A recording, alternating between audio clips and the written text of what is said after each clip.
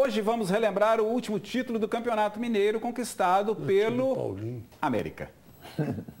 2001, duelo de muitos gols com o Atlético na final. A gente vê do Galo. Vamos ver, roda aí, ó. Lembra, seu Jair? Vamos ver. Bom lembrando, Jair. Foi um 4x1, hein? Lembra desse jogo aí? A América pulou na frente na decisão do título, rapaz. O Wellington Paulo fez 1x0. Depois o Tuxo fez dois, ó. Oxe. É.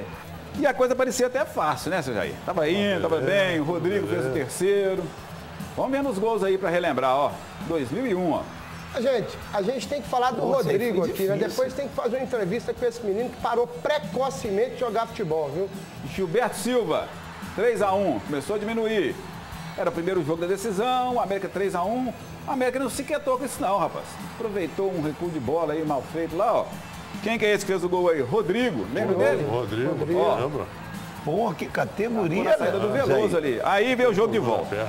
Tudo parecia tranquilo para o América, América navegando em água- águas calmas, como foi feito esse pênalti no Guilherme. Guilherme foi lá e bateu, 1 a 0.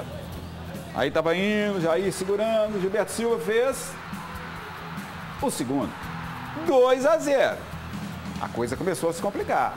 Aí veio 3 a 0 com Lincoln. Aí, seu Jair, era mais um gol e o Atlético ia levar a decisão para os pênaltis e tudo mais. Mas aí, Alessandro foi lá e garantiu Aí, 3 a 1, 0 América dava o time campeão. do Dadá. aí, Por aí, causa do gol marcado na primeira. aí fechou. É, tem isso. Aí, Alessandro. Hein? É? Alessandro.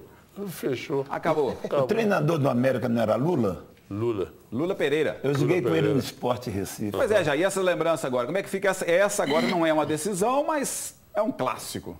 É, já sabe, vai dar o quê? Mesma coisa, a história se repete.